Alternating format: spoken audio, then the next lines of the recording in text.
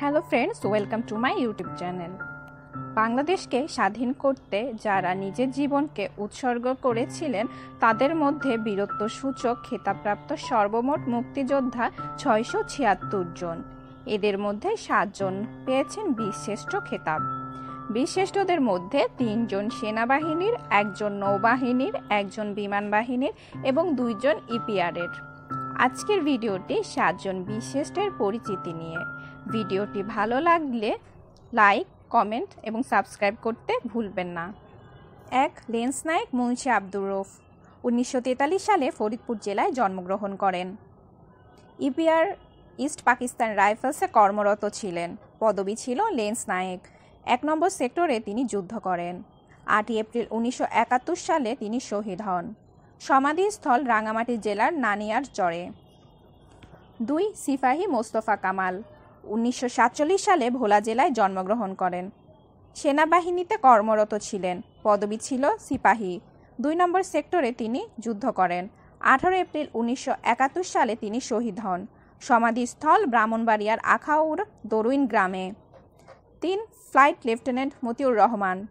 উনিশশো একচল্লিশ খ্রিস্টাব্দে রায়পুরা নরসিংদী জেলায় জন্মগ্রহণ করেন। বিমান বাহিনীতে কর্মরত ছিলেন। পদবি ছিল লেফটেন্যান্ট। মুক্তিযুদ্ধের সময় তিনি পাকিস্তানে কর্মরত ছিলেন। পাকিস্তান বিমান বাহিনীর একটি টি তেত্রিশ প্রশিক্ষণ বিমান ছদ্মনাম ব্লুবার্ড একশো ছেষট্টি ছিনতাই করে নিয়ে দেশে ফেরার পথে বিমান দুর্ঘটনায় নিহত হন। বিশ আগস্ট উনিশশো একাত্তর সালে তিনি শহীদ হন। সমাধিস্থল। পাকিস্তানের করাচির মৌরিপুর মাস্টুর ঘাটিতে তার সমাধিস্থল ছিল।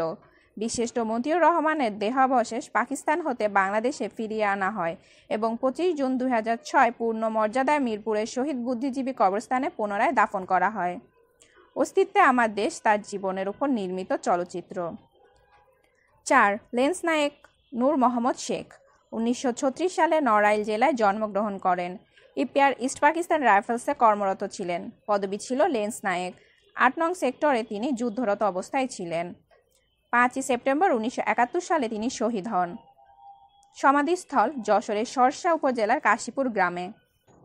পাঁচ, সিফাহি হামিদুর রহমান। জন্ম উনিশশো সালে জিনাইদর খদ্দখালিশপুর গ্রামে। সেনাবাহিনীতে কর্মরত ছিলেন। পদবি ছিল সিপাহী। চার নং সেক্টরে যুদ্ধরত অবস্থায় ছিলেন। আঠাইশ অক্টোবর উনিশশো একাত্তর সালে তিনি শহীদ হন। সমাধিস্থল ভারতের ত্রিপুরা রাজ্যের আমবসার হাতিমের ছড়া গ্রামের সমাধি। তার দেহাবশেষ ত্রিপুরা হতে বাংলাদেশে ফিরিয়ে আনা হয় এবং এগারোই ডিসেম্বর দু সাত ঢাকার মিরপুর শহীদ বুদ্ধিজীবী কবরস্থানে পুনরায় সমাহিত করা হয়। ছয় স্কোয়াড্রন ইঞ্জিনিয়ার রুহুল আমিন।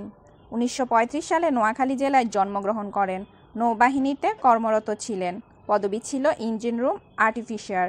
দুই নম্বর সেক্টরে যুদ্ধরত অবস্থায় ছিলেন। দশই ডিসেম্বর উনিশশো একাত্তর সালে তিনি শহীদ হন। সমাধি খুলনার রূপসা উপজেলার বাগমারা গ্রামে রূপসা নদীর তীরে। সাত, ক্যাপ্টেন মহিউদ্দিন জাহাঙ্গীর উনিশশো ঊনপঞ্চাশ সালে বরিশাল জেলায় জন্মগ্রহণ করেন। সেনাবাহিনীতে কর্মরত ছিলেন। পদবি ছিল ক্যাপ্টেন। সাত নম্বর সেক্টরে যুদ্ধরত অবস্থায় ছিলেন। ষোলোই ডিসেম্বর উনিশশো একাত্তর সালে তিনি শহীদ হন। বিশিষ্টদের মধ্যে সর্বশেষে তিনি শহীদ হন। সমাধিস্থল চাপাই নবাবগঞ্জের ছোট সোনা মসজিদ প্রাঙ্গণে। সকল শহীদদের আমরা শ্রদ্ধার সাথে স্মরণ করি।